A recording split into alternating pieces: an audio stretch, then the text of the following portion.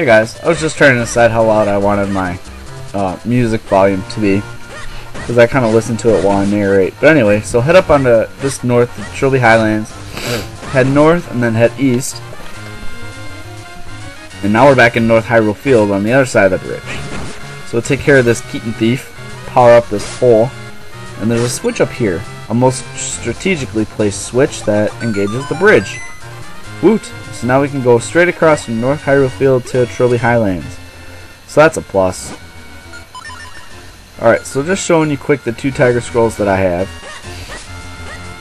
So, um, I don't have the, the uh, roll attack yet. So, we might go get that in this video. I'm not sure. I'll find out depending on time. Um, but anyway, there's some stuff we need to do in Trilby Highlands. First thing we need to do is go down this ladder so we can get down. Now, this is the spot where we got the uh, Deku Scrub to sell us the uh, our first uh, magic bottle. So that's definitely a plus to have. Um, so it's pretty sweet. Anyway, so you come out right here. Now, this should look fairly familiar. Um, we were just here in the last video where uh, I was playing ahead.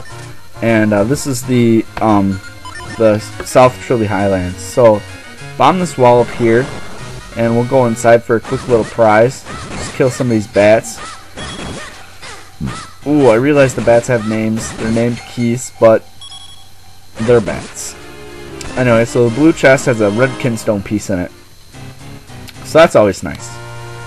So we're gonna walk down here, and uh, there's a little uh, mini mini Ganon, uh, Moblin as they're called, because Ganon Ganon's not in this game. He he's not making an appearance. But anyway, push this boulder up and that'll make our way so we can get down without coming around through the ladder. And there's a little inconspicuous spot right here that looks like it could be bombable, but we'll find out. And, yes, it can. And then here's just a fairy's fountain. Be careful not to fall into the water because you don't have the Zora flippers yet. So, you know, don't fall into the water. That wouldn't be good.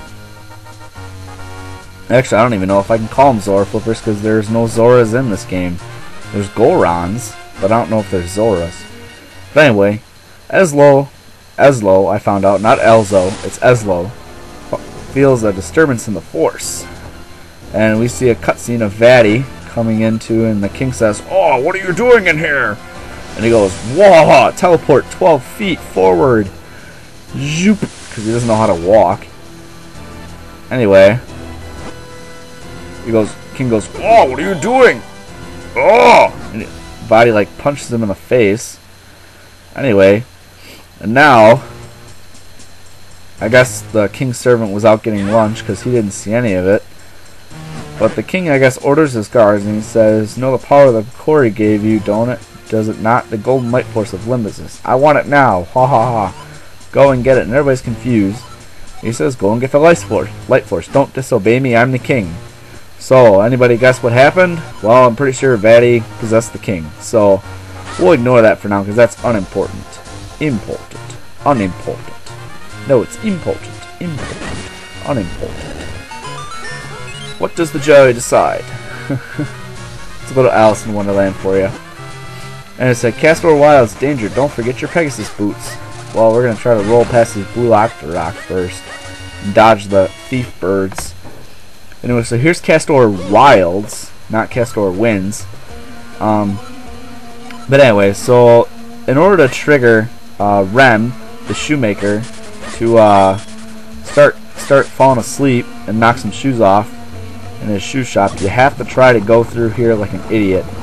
You're like, oh, and then Ezlo shows up. Hey, watch out! You're sinking. You're sinking. You sink all the way. I'm gonna get muddy.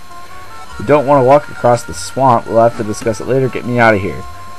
So you have to do that. Otherwise, you'll never get the Pegasus boots. It's just something that happens. So, coming back through the western wood, we'll uh, take down a Moblin. Oh, come back here. Oh, gotcha. Awesome. Oh, wait. Go get that. Go get that. Link, go, go, go, go. Yes! Okay. Always pick up kinstone pieces. You'll never know when you might need one and chances are you'll pick up one that you'll never use. It always seems to be the case that nobody wants to fuse with the kinstones that you have. It's always the ones that they have and you don't happen to have that one. Anyway, so we're going to head over to the west now, up Mount Crenel Base, And we're gonna go and we're gonna learn the uh, the roll attack from I think it's Greyblade. Um, anyway, it's one of the it's one of the sword masters. Oh, I want that heart. Thank you. So climb up the wall and dodge these Tektites. So, ah, ah, yes. I think I already, yep, I already explored this cave. So we're good. We don't need to go through there. So, break some of these rocks, hoping for hearts, and we'll keep climbing up the wall. Ignore the mushroom, we don't need to go that way, we need to keep going straight up. Moving on up to the east side. Just grabbing a drink of water quick.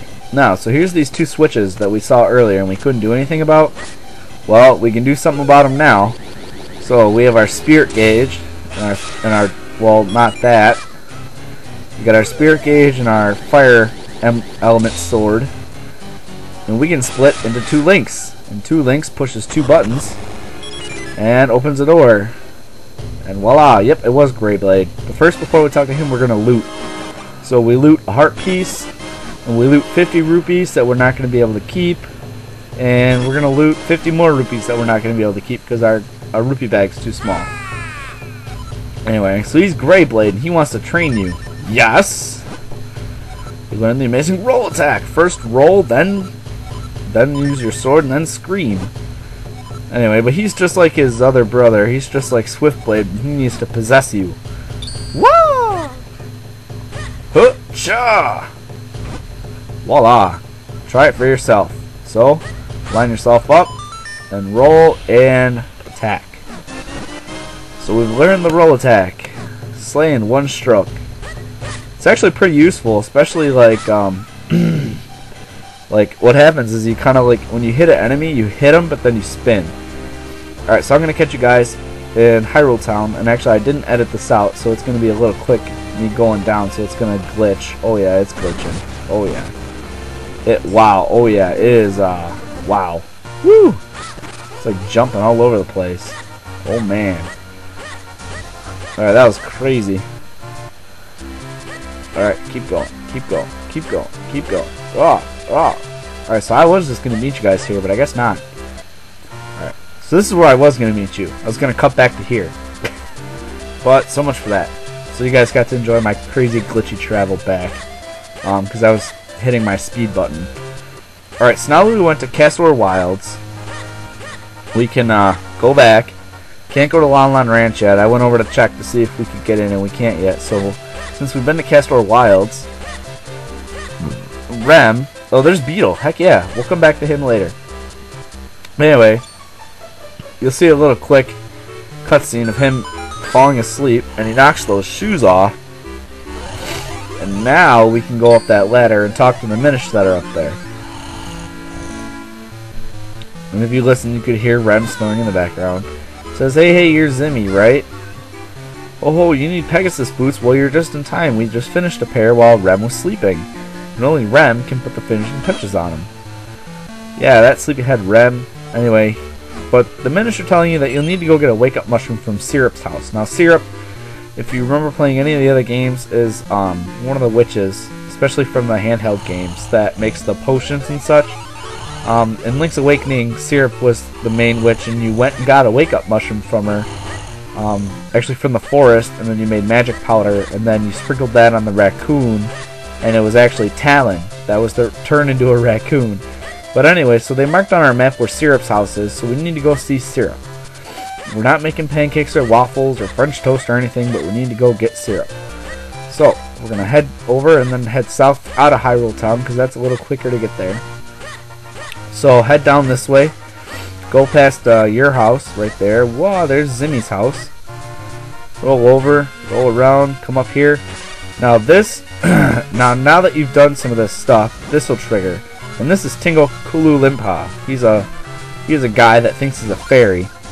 And uh, there's four of these guys. And uh, as you'll see in I think the next video, I fuse with one of them and it opens with a tree in North Hyrule Field. And you'll want to fuse with all four of them once.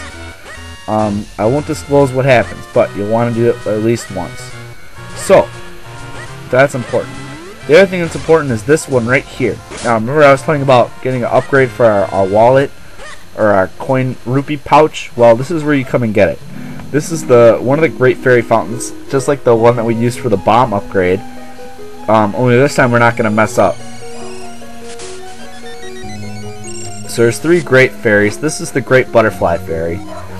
Anyway, and she wants to borrow some rupees. So I got 300, I'm maxed out, so I won't be able to get any more. So I decided to lend her some, but then she gives me the big wallet. And now I think I can carry 500. So we had a green rupee wallet, now we have a we had a blue rupee wallet, now we have a red rupee wallet. So we can definitely carry more rupees. So that's always good. Alright, so I'm going to meet you guys in the next video right here in Lon Lon Ranch and we'll carry on with our story. So see you then. Bye.